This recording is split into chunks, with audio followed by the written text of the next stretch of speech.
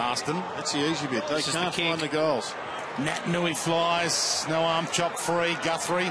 Oh. He faked it and got away with it. Ruggles not so good. Nat Nui, the push off. The kick. Cripps.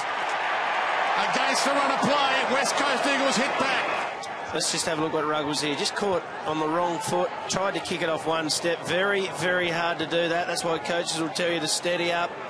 And Nick Nat uh, setting up Cripps.